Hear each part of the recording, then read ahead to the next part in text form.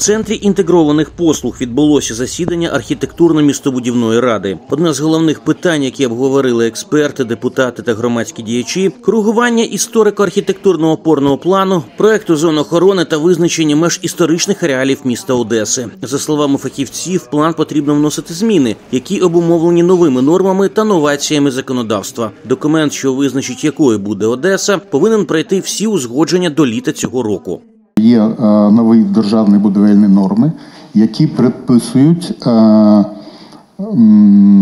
в зонінгу е, мати конкретні показники для кожної зони.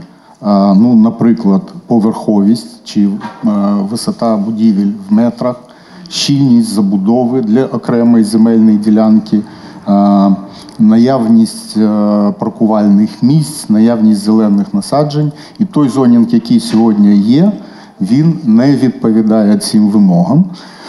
Е, Тому ми плануємо розроблення, скажімо так, більш е, жорсткішого е, зонінгу, і це робота, яка повинна бути зроблена до е, літа цього року.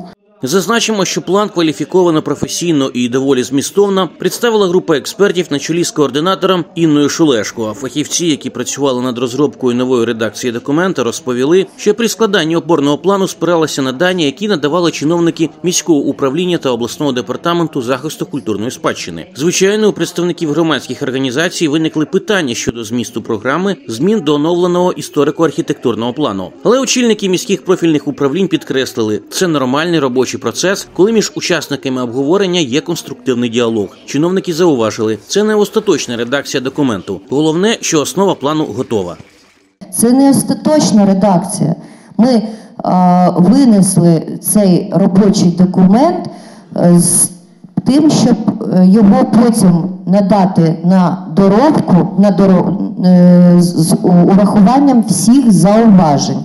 І коли цей документ буде в остаточній редакції, він повторно буде винесений зразу на містобудівну раду, потім на е, консультативну раду, і тільки потім, коли він е, набуде е, позитивних рішень, потім буде затверджуватися в Мінкульті.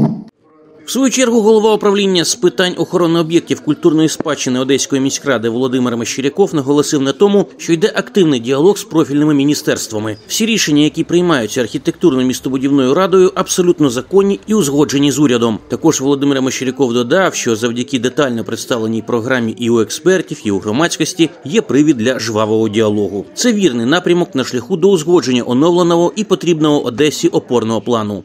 Містобудівна рада, яка не передбачена законодавством як орган, де треба обговорювати цей опорний план, е, ми вирішили, що треба ознайомити і фахівців, і тих, кого це цікавить на сьогоднішньому е, засіданні.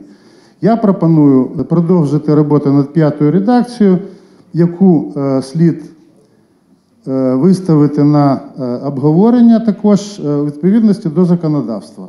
Робота над коригуванням історико-архітектурного плану триває. Дискусія з громадськістю продемонструвала, що байдужих до майбутнього Одеси немає.